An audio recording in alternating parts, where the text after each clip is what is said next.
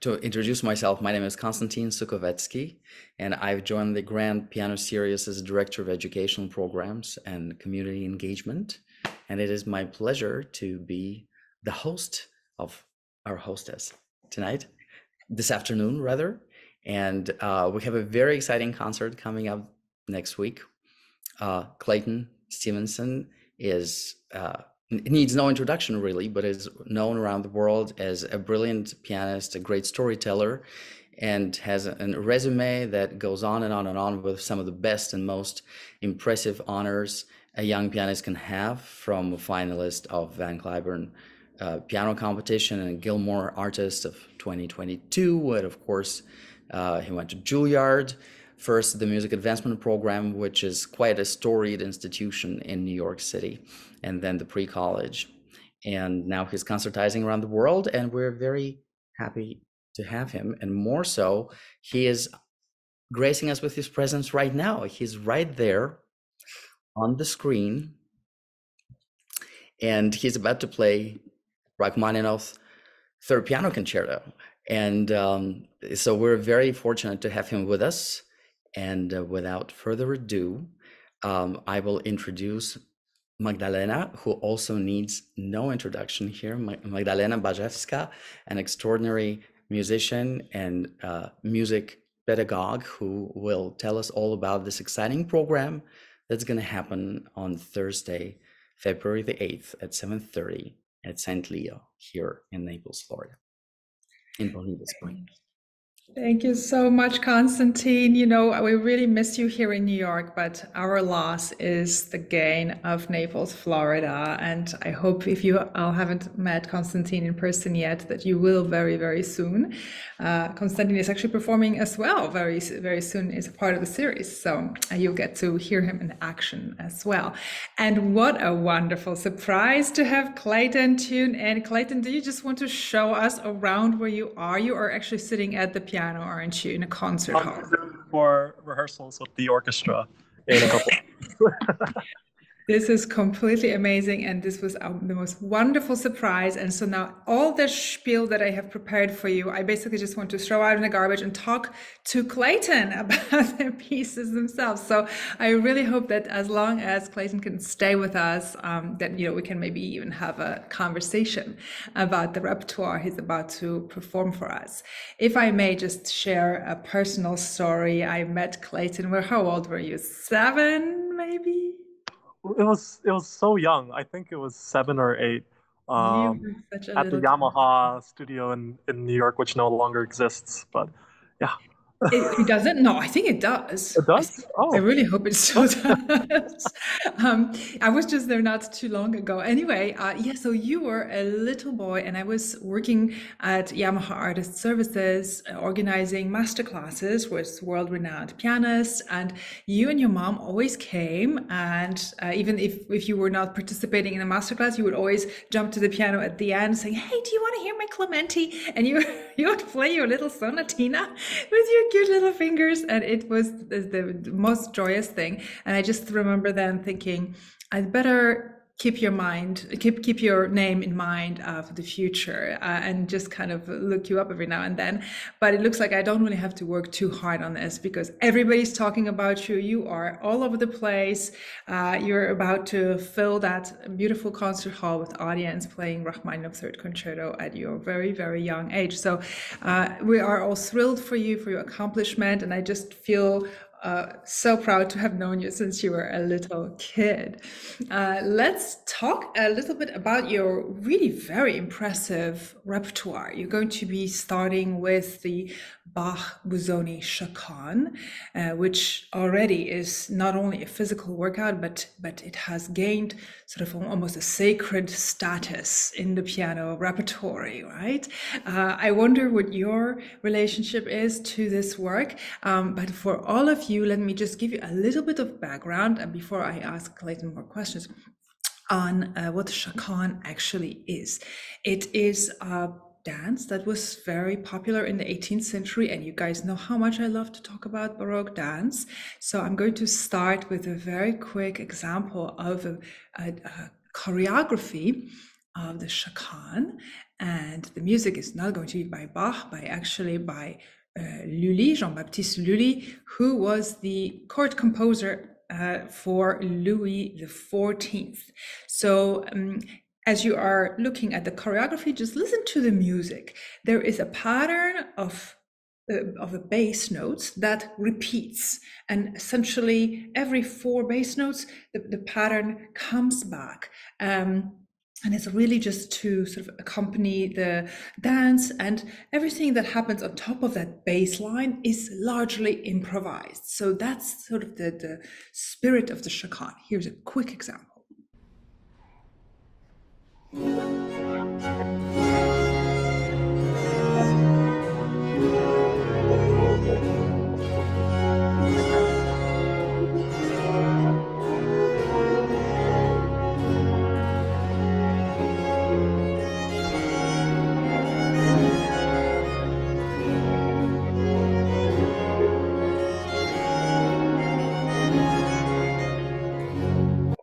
now you get, did just happen? Now you get a picture of how Chaconne works. This one is a very simple one, just really involving a pattern of four repeated notes. The Bach Chaconne is much more built out. And it, in its original form, it actually exists for the violin solo. Uh, let me share this recording with you. I will share two, one after another.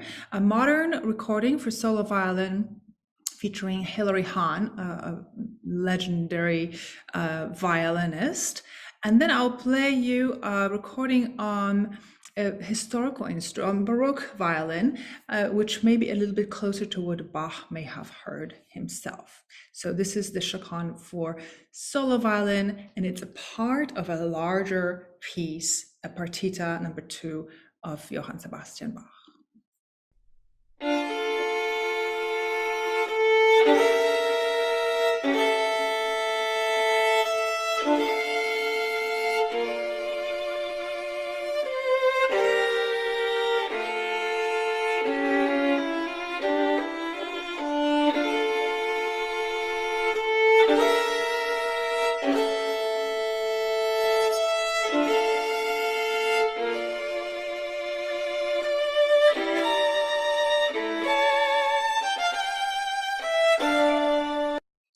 Bach's chaconne is no longer fit for accompanying dance steps. It is, so to say, stylized, right?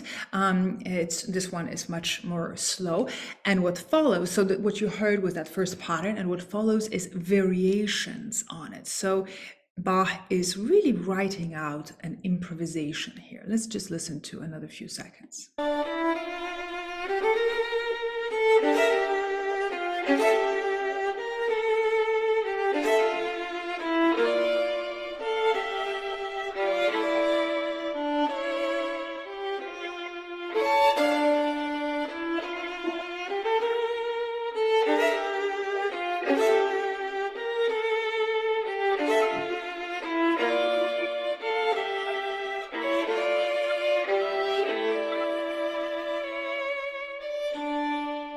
Here begins the second variation on that initial pattern. As you see, the piece is monumental. We have almost 18 minutes of music.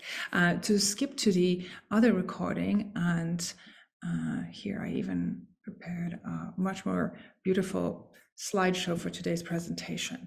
Uh, just listen to the beginning, beginning of this chaconne played on the Baroque violin.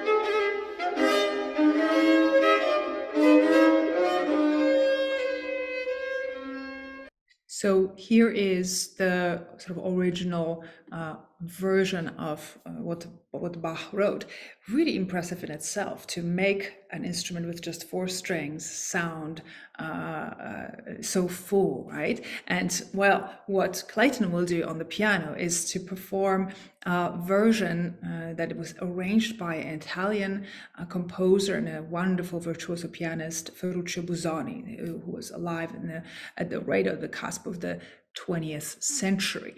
And um, actually, Clayton, maybe we can have your own words on what it is that Busoni does to Bach's score. How does it feel to you as a pianist to be interacting with this legendary work? Um, I would say this piece is quite controversial amongst, you know, my fellow colleagues. People in the violin community think, you know, piano has so many pieces, so many pieces written for it, and somehow we're still stealing pieces from the other instruments. And so I feel that they regard us a little bit like, why are you playing the chaconne? Um, but I think what Busoni was trying to do was reimagine what Bach wrote. Um, there's a earlier transcription of this work, almost one to one from Brahms, and he writes uh, it for the left hand. And Busoni says, you know, that's not enough notes for me. I need, you know, big loud chords. I need, you know, big bells in the bass going. And I think he sort of just turns this into an, an, an orchestration. Uh, so you can really feel, you know, at the beginning, he still keeps it very traditional. You know, you try to emulate the violin, but, you know, once the octaves take off, it's really like he's, you know, adding in, you know, double basses and then you get to hear, you know, bells and then finally the organ at the end. So I think he's really just imagining different ways that the Bach can be uh, produced on the piano. And I think it's it's a great way to keep the audience uh, enthralled because there's so many different stylistic and also uh, textures, um, so that you can really show the the character changes from variation to variation. And I think that's the most uh, wonderful part of this piece is that you have this theme that continues throughout the entire piece, but it's transformed, you know, into a very beautiful D major melody in the middle section, and then back, you know, in its its glory uh, at the end. So it's a whole journey. Wow, I would not have said it better myself. It is true that that the Chaconne is is a real epic journey. But uh, now that you are uh, with us to sort of get a little bit more, um, you know, knowledge on the piece, you will eventually hear that there is this pattern, right, that repeats, and that's really the origin of the Chaconne. And yet somehow, uh, Busoni, you also mentioned the, the organ, right? Busoni was also a very eminent organist. And so you literally hear the piano fill that space um, as though we were listening to either full orchestra or the organ itself. Um, now I'm a little self-conscious to to play you this recording that I had lined up because it's actually my own. I was listening to to various uh, interpretations, thinking, "Oh, who do, whose would I love the most?" And since I couldn't find yours, Clayton, I thought let me just share a fragment of mine. Uh, just a few seconds, maybe, of the conclusion of the piece, so that. Um, uh, I will let Clayton take you on that full journey when you hear him play. And here it is. Um, I also did have the left hand version you see lined up, but uh, we will. I will send you the link, and perhaps we won't spend a whole lot of time on it right now. Okay, let's see.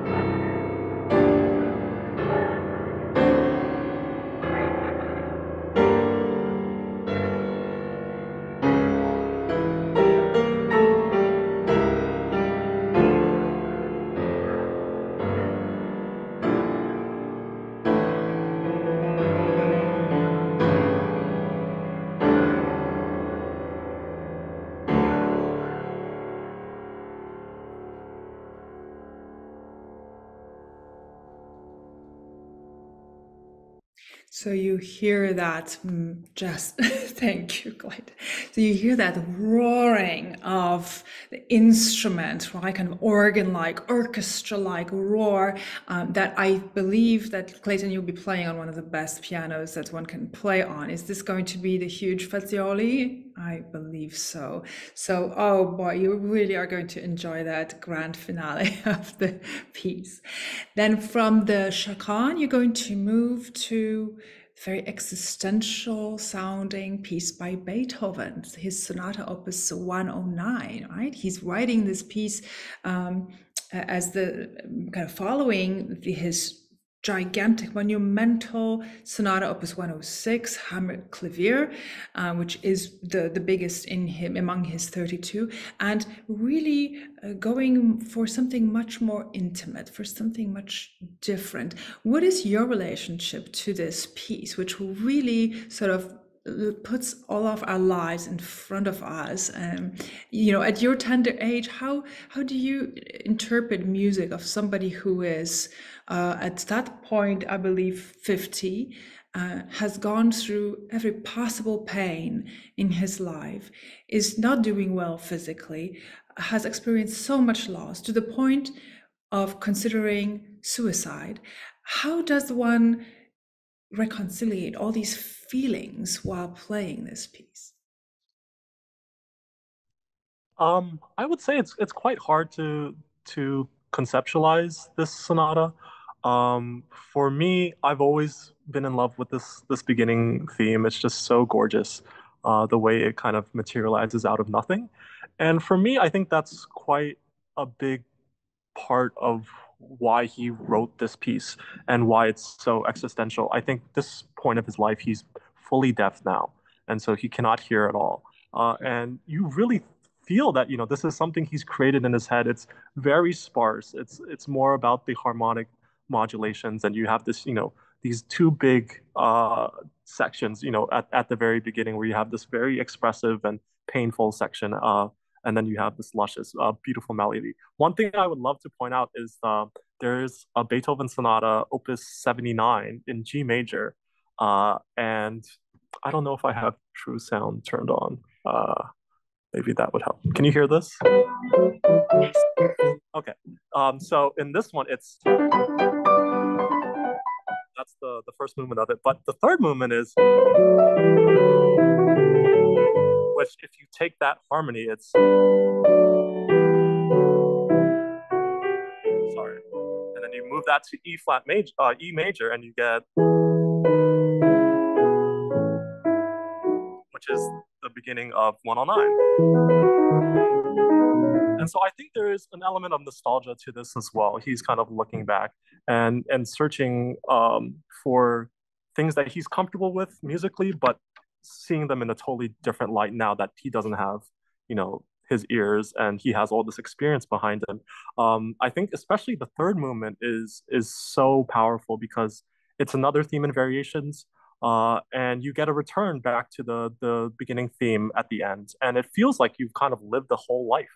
Uh, each movement or each variation is, to me at least, you know this this anonymous person, you know, growing up and going through different experiences, and even the last movement itself uh, you can see that Beethoven writes in almost uh, measured accelerando where all the moving notes are getting faster. So it's, you know, first quarter notes, then eighth notes, then triplets, then sixteenths, then 32nd notes. And so you feel like, for me right now, uh, time is moving faster than it was before. And I feel like that's the concept he's trying to, you know, things are going and then you see like this whole arc of, you know, life events that flash before your eyes before you finally get back to, you know, the beautiful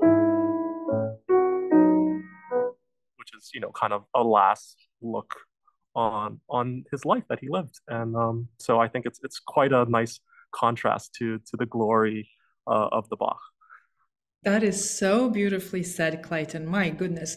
So, if you don't mind now, because now that this I can hear the sound is actually quite beautiful, even though you're on your iPhone, I think.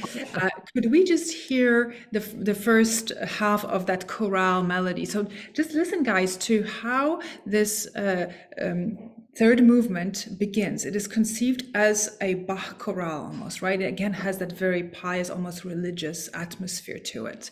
Let's hear Uh, it. I would say it's like um, in Bach, there's another dance form called the saraband, where you kind of go towards the two. So one of the most famous. Um, it's not a saraband in in technicality, but the Goldberg variations, the aria is a saraband. So.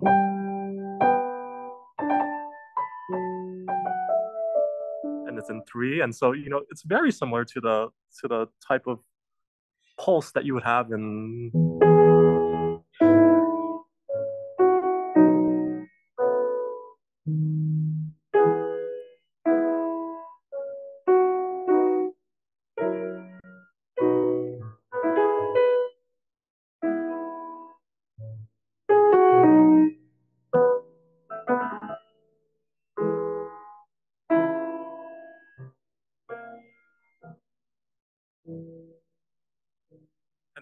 little doubt in this uh, when he goes to this uh, um what do you call it uh when it goes to five to six is deceptive cadence there we go oh, this is so technical. My goodness, you sound like a musicologist, Clayton. This is a wonderful. But we are really, really so glad that you're with us and at the piano. Could not be luckier to hear that. So, uh, and this movement comes after a moment of true anger, doesn't it? The second movement is just so full of anguish, right? Can and, and can we hear a little bit of it as well? I'm going to mute myself. sure yeah one of the things that's really interesting as well is some people argue whether this uh, this sonata has three movements or two movements and the reason is the first movement doesn't have a double a big bar line uh, at the end so he actually wants you to hear the progression from E major to E minor, which I think is so cool. So I'm just going to play the ending of the first movement, and you hear this change into, you know, what Magdalena said, this anguish and, you know, just being contemplated. Uh, so.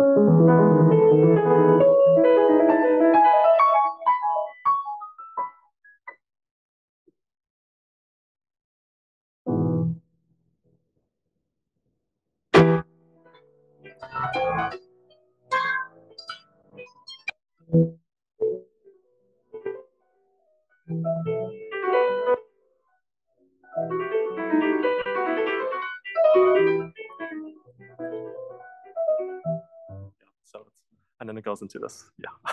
Oh, this is so great. I, I only wish that the Zoom folks have finally figured out how to give the full fidelity to the amazing sound that you're making right now. But so yes, so you will you will hear a lot of contrast. It's almost like a whole um, story describing a life, as as Clayton just said. You know, a whole life flashes before you. There there are moments of sort of getting lost in thought in the first movement. Remember last time I talked to you ear off on the sonata form and how all these 18th century composers wrote, you know, the the um, exposition and the development all this. It was a very theoretically involved talk, but that but now Beethoven's really abandoning it, uh, right, to a large degree, and that second movement comes as a, as a total shock, so to say, attacca, right? It's kind of attacking us with this uh, huge fortissimo, full of anger, and we we really believe that that this is what Beethoven was going through, right? We you read there is a wonderful document called the Heiligenstadt Testament that Beethoven. It's essentially a letter that Beethoven wrote in 1802 to his uh, family and friends saying how you misunderstand me. I i am a man who has lost everything. Just imagine a composer losing his ear the most important sense that a musician needs. This is this could be compared to a, a painter or sculptor losing his eyesight. He is desperate but he says do not misjudge me. I am living in in you know this terrible world for the art and i shall continue to create. Uh, and, and so you really hear that personal struggle uh, in in this piece. So i'm really really glad that you're going to present that uh, in as a part of your recital. Because we always run out of time, I'm going to try to move on now to uh, the piece by Albeniz, and this is uh, you know another one of those gigantic uh, positions in the piano repertoire, which was initially considered unplayable, right? And I still uh, think that it's really not for the faint of heart. Let me just share my screen so you guys can see and maybe Clayton can actually demonstrate this moment in the score. Uh, this is just one of the pages of, uh, of the score of uh, Iberia. There are four books of three pieces each, and just look at this. So, normally in piano music, this is reserved for the right hand. This line is reserved for the left hand. And now, what on earth is that third line doing here? Uh, and for any of you who have ever read through a piece of music, you may see two Fs, which which denote dynamics, right? So we're going forte with force. So a standard is an F. Uh, two Fs is pretty loud already. You know, three Fs is rather extreme.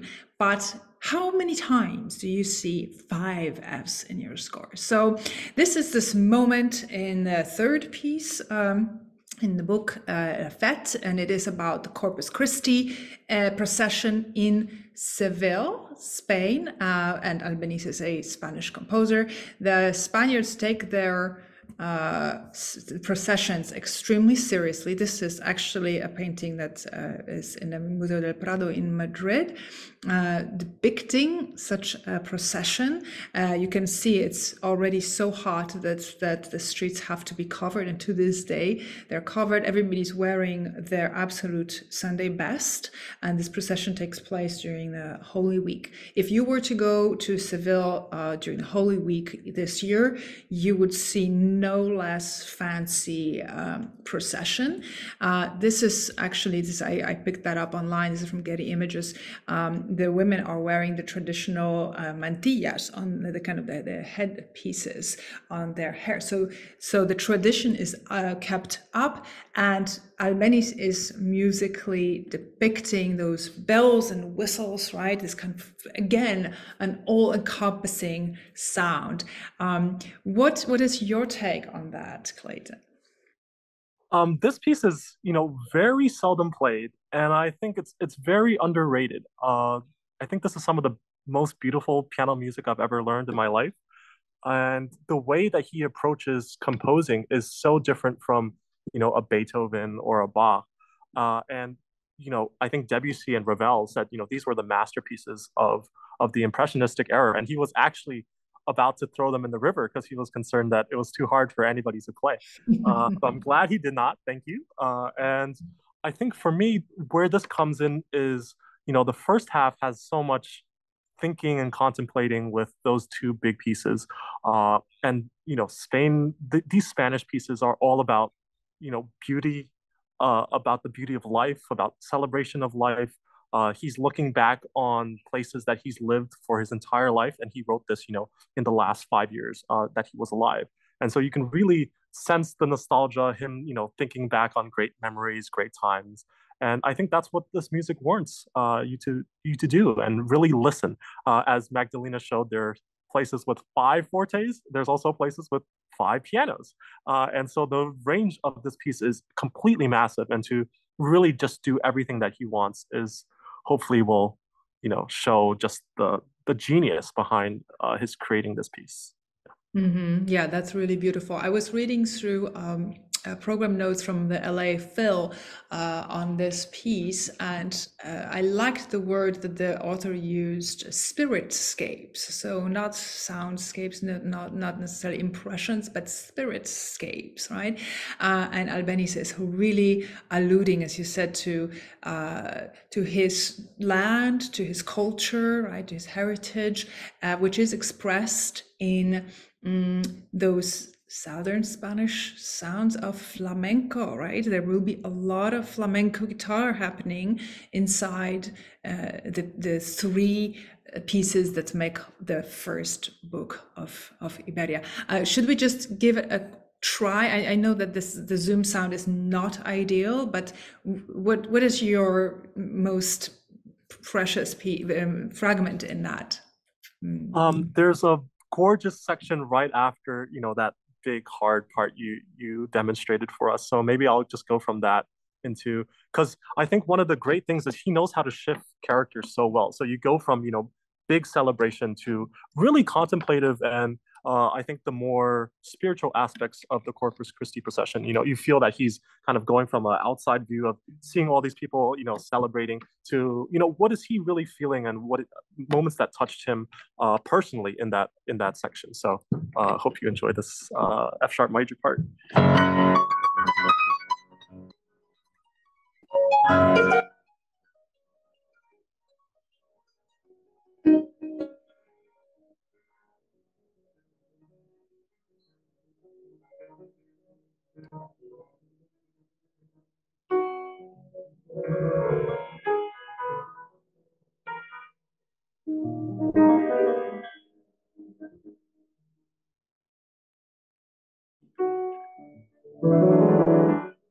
My dear Clayton, I'm so sorry to interrupt you, but the, even in 2024, the technology cannot keep up with you. Technology's not there yet. You're just playing too many notes for this modern technology to even keep up with you. but that that is that much more exciting for you guys to hear uh, it live in person. Uh, let me see if I can uh, share a very quick uh, fragment here, just so you can hear what Clayton was playing for us. This is uh, by um, actually played by the queen of Spanish music, Alicia de Larrocha, who herself actually recorded the cycle three times. Uh, in, in, 20, in, in a period of 20 years, she made three attempts to record this really unplayable piece. And, you know, as Clayton said, it's very rarely played. And I do not um, uh, wonder why at all, because, like I said, it really takes very special kind of musicality, also, you know, physical prowess to be able to handle what is happening on the page. And the fact that Alicia de Rocha did it three times must mean that she was not satisfied twice with what she recorded. Just let's take a quick listen. Uh, here we go.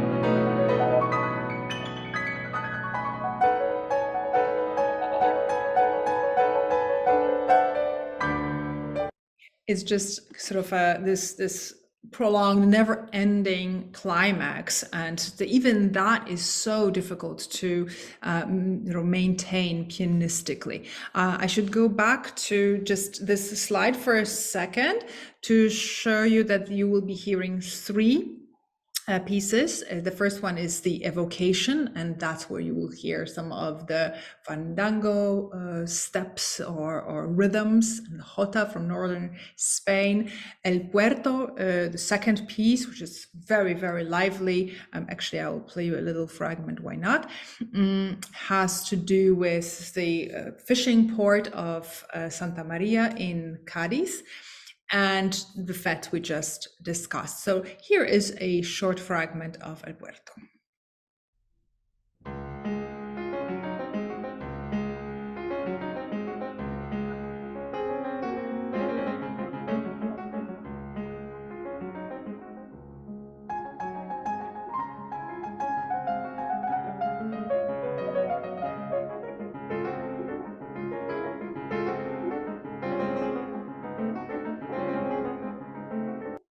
And here it's really undeniable. You can really hear those flamenco sounds here, right? In this hustle and bustle of a fishing port, uh, you hear the mm, sort of energy, the vigor of Spanish music, which is so often expressed in uh, flamenco guitar. I have a video for you, but I will again send you the link so you can do it for homework because since we have Clayton, I want to hear more uh, from him as well.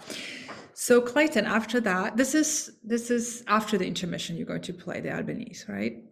So, as though one didn't need an ambulance after that, uh, you are going to play two huge pieces by George Gershwin. And the first one has made it into even the jazz standard repertoire, and that is the Summertime from Gershwin's Porgy and Bess, his 1935 folk opera. Um, actually in, in 35 when the piece was first published the public was not sure what to make of it. Does it belong to the opera? Does it belong to music theater? Is it should be on broadway? Should it be should it be at, at the opera? Right? So um, and yet there are there is the, the, tune of of summertime and many other tunes actually from this uh, opera that made it into the standard repertoire and are to this day uh, played and arranged in by various great jazz musicians. So um, you are also playing an arrangement right by a turkish pianist Fazil Say what would you like to tell us about this piece? Um, i think you know sometimes you your teachers recommend you pieces or you know you know there's the beethoven 32 sonatas. This was a piece i just stumbled upon browsing on youtube and i said wow you know i have to learn this piece. So as a high schooler i, I bought the music and I, I i think it's just so different um color wise compared to everything else that i've had on my program. And it's a great breather between you know the big masterwork of the Albeniz with the spanish uh, themes and then you know his masterwork, which is Rhapsody in Blue. Uh, and I think this is a very nice interlude to get us there. I've definitely taken some liberties uh, on what Fazil Say has written and taken some inspiration from legendary jazz singers like Ella Fitzgerald and incorporated the way that they arranged the piece. Uh, so I hope you you enjoy that little mashup of everything together. How fascinating to hear that you are actually introducing some thoughts of your own on the piece and what you want to do with it musically and pianistically purely, right? Which really uh, is what a fantasy or variations should be like, right? Uh, and the chaconne itself, as I mentioned at the beginning, was something that would have been improvised on upon that bass line. So, so few classically trained performers these days are able to improvise or compose. Uh, we're actually very lucky to have two among us because not only Clayton but Konstantin also is a composer and an arrangement uh, arranger. Uh, so you guys both share that that you know uh, freedom and the liberty to to make the music alive. We all know that Chopin, when he performed, he did not play every note that he wrote or somebody else wrote. He was improvising the whole time. And so much of his music, too, right, is simply written out in improvisation. So I love that you are kind of continuing in this spirit of keeping music as alive as, as it can be. This is fantastic. Um, let me share with you guys a couple of, uh, here we go. Yes, uh, uh, Clayton mentioned the Ella Fitzgerald arrangement, but uh, before I play this one for you, uh, here is the original Summertime from Gershwin's Porgy and Met Opera. Here's back.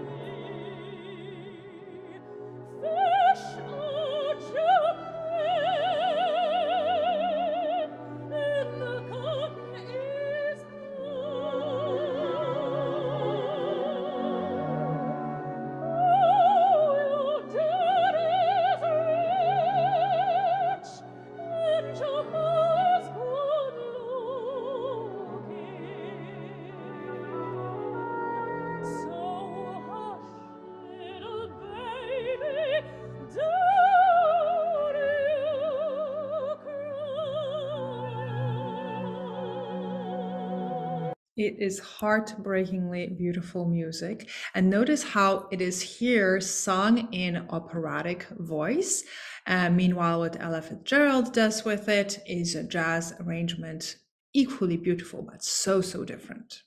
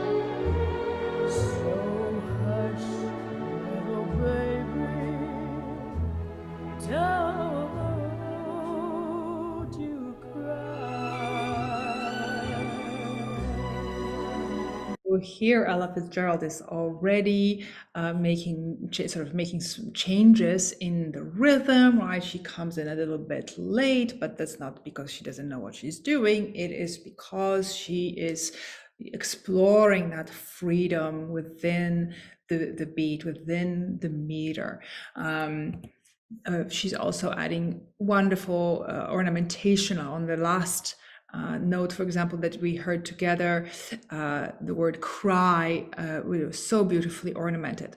And here, guess what? I finally have Clayton's own recording, and we're going to hear a few seconds so that you guys you get an idea of how these variations work. It's it's really a, an improvisation, um, and I would be very curious to hear more from you, Clayton, about what it is that you decided to um, add or change, uh, improve upon, and make really yours. So here's just a few seconds, and we're going to hear from Clayton after that.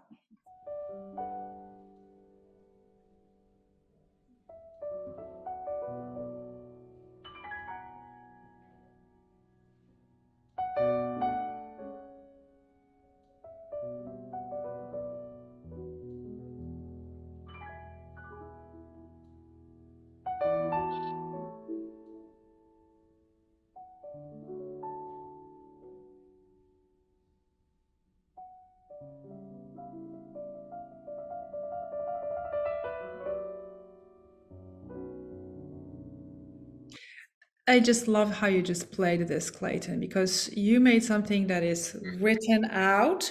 You made it sound like you're improvising it. You took it off the page. This is for us performers one of the greatest challenges always, not to sound like we've been just playing this day in and day out, right? And just delivering it to our audience. Here we go.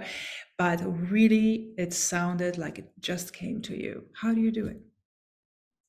Um, with a lot of help with teachers, uh, with practice. But I think for me, this piece lends itself because Fazil Say, you know, he doesn't start in the normal. He starts with, and this for me, it's it's you're contemplating. You're like, oh, this is a new chord for summertime that I've never heard, and how should I continue this? And he's kind of ruminating on this thought, and then once he starts, he gets an idea. He's like, okay, let's go into like a little bit more of a rhythm. So, and he says, you know, I got that, so let me, you know, go quicker. And just he's just having fun, and I think you know you want to have fun with him, and so that's why I've added things that seem fun to me. Um, and I, what I've changed the most is the ending. Uh, I think it's the way Ella Fitzgerald ends it. It's just so beautiful. Uh, it's out of this world, uh, and I had to to take that a little bit as a as a nod to to Ella. Oh, Um, how wonderful. What a beautiful way to, to do this. So, guys, make sure I'll send you the link that you listen to it. So this way you are able to to tell what it is that uh, Clayton has changed. Oh, wow. I only wish I had could be there in person. This is great. Um, so listen, we have only a few more minutes, but we cannot leave here without talking about Rhapsody in Blue. I'm sure all of you have heard it and are huge fans. Um, this is an interesting piece that every I, every time I have a deadline that is stressing me out, I think about Gershwin and the Rhapsody in Blue. He was asked by Paul Whiteman and his big band to write a piece actually write something for piano and big band for the opening of the Aeolian Hall. And guess what? Do you know? Did you know, Clayton, that the address of the Aeolian Hall a hundred years ago is the same address as where we met at Yamaha Artist Services? oh How no, I didn't. No. Yes, it was that was the location, which I imagine is why Yamaha may have wanted Ah. that that building. Anyway, it will be actually the premiere of it took place on the 12th of February 1924. So you will hear it almost to the day on its 100th anniversary. How is that, everybody? Now, uh, so yeah, so I, back to the deadline. He was asked by Paul Whiteman to write this piece, and he said, "No, you know, I, I don't think I can do this. It's just, you know, eight weeks is much too little time." And then he's hanging out in one of the midtown uh, joints, reading a newspaper, uh, where he reads, "Oh, George Gershwin is writing a piece for Paul Whiteman to be performed in February, you know, 1924." And he thought, "My goodness, I'd better run home and write this piece." So, you know, if you don't have eight weeks, you have five weeks, and you can still make it happen. And so this this is how the Rhapsody was born. I love how he went about it so freely. You know, if he were writing a concerto, then he would again probably be subjected to the rigor of having to write in a sonata form, right, and making it a three movement piece and so on. But when you leave when you write and bye melissa sorry to see you go but uh, make sure to listen to the links um, you know when you have a rhapsody you are free to do what you want right? So you're going to hear these tunes that are going to reappear. You're going to have uh, wonderful uh, patterns that you can follow but they're all together written with a great degree of freedom. And i have a feeling that this had to do something with this deadline. So um, and obviously it was written for piano and, and a big band. You're not going to have a big band with you clayton are you? No, I'm gonna be doing the work of all the other people in the big band and expect to be compensated just as much. Milana, did you hear that? so yeah, so it's actually um, Gershwin's own version for solo piano, and it is also quite a challenge, yes, to to make up for all the mm, the music that is normally played by the big band. We oh, there's Milan. um, I will just share with you a very short fragment before we all go, and of course, uh, feel free to ask questions uh, of Clayton now that uh, he's here with us. Here is a small fragment of this legendary beginning. You know, I think that it's probably as legendary as the opening of Beethoven's Fifth Symphony, the pa pa pa pa motif. It's as recognizable. Here is the maestro, Leonard Bernstein.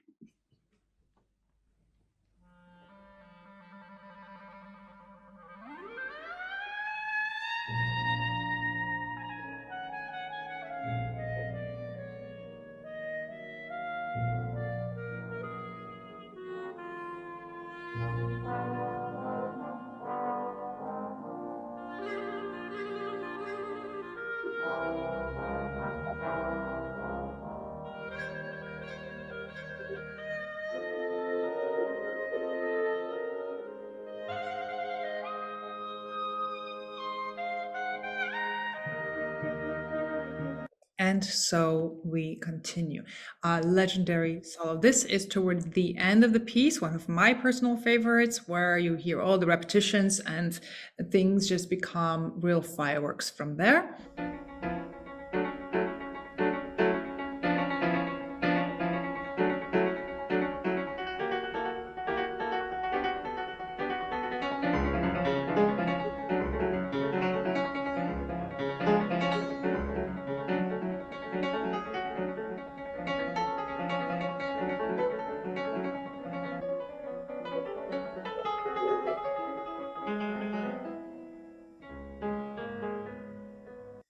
And so, um, actually, that will be my uh, last question for Clayton. Uh, we see here Leonard Bernstein, who was, you know, very fluent in jazz, both in composing and playing.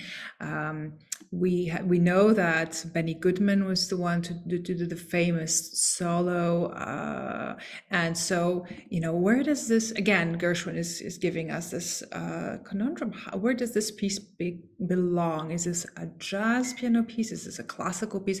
Is because is it written out? Does it make it one or the other? And before we hear from Clayton, I just want to make sure you're aware of the Fantasia 2000 version of this fantastic piece.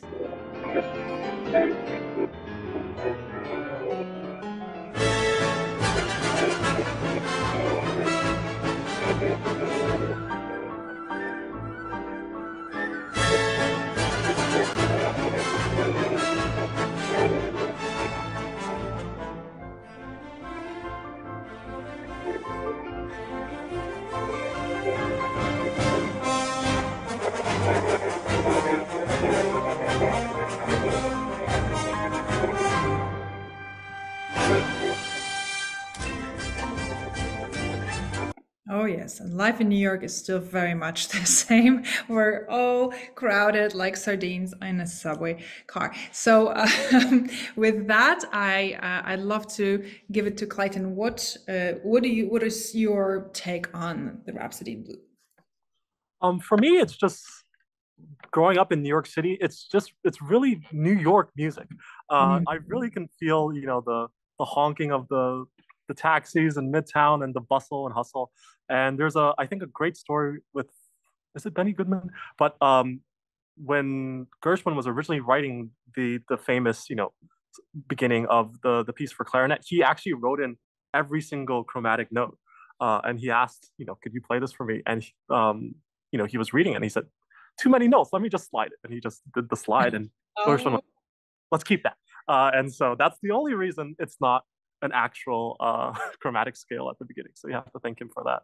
But I think it's just, it's so much a part of who I am. I've grown up in a culture where, you know, you don't, you hear jazz, you hear classical, you hear everything. And I think that's the mindset that you know Gershwin was coming from. You know, he was hearing you know different types of music. You know, his Jewish music from his background, but also jazz and classical from you know just being around New York City. And I think he really just captures all of those things together. And so you get a, a big mashup, a big melting pot, which is what New York City is.